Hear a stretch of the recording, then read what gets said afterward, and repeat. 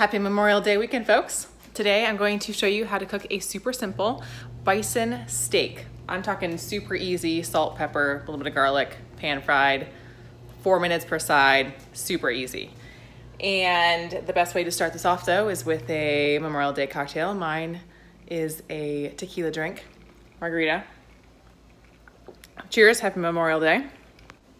So for things first, let me show you my steaks that I have prepared. I um, let them come to room temperature. I think that's super important, especially because bison is very lean and you don't want to overcook it.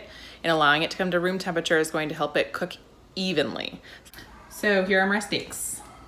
Pre-seasoned, like I said, salt, pepper, and then I will add a little bit of garlic to them while they are cooking. And my pan is prepping with some butter, a couple tablespoons of butter.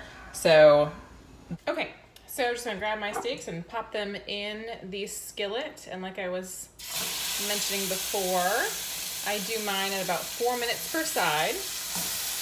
And these steaks are strip loin steaks, about roughly an inch thick on either side. Ooh, they smell good already. And while these are cooking, I'm going to just add a little bit of garlic to the top of both of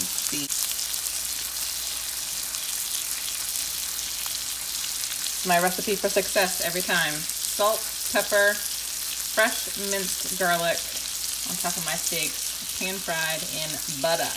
And like I said, I would do this even with a beef steak, although you would notice a lot more fat coming out of your steaks if you were cooking with beef and it would be splattering kind of all over the place. And that's one of the things I love so much about bison steaks is they're super lean. So you cut out all that fat and you just get super healthy red meat.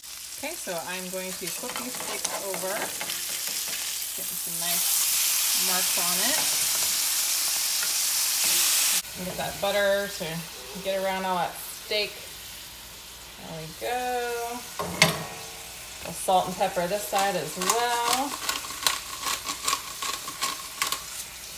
Which I had done a little bit in the beginning. I put the salt and pepper in on the plate that I put the raw meat onto, so it was already on there.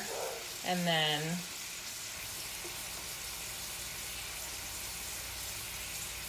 garlic. A burner is on medium to medium low heat for this.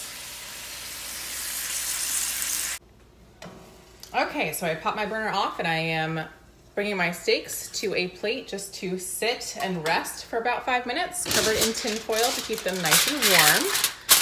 And I'm going to prepare the rest of my dinner accompaniments for our Memorial Day steak dinner.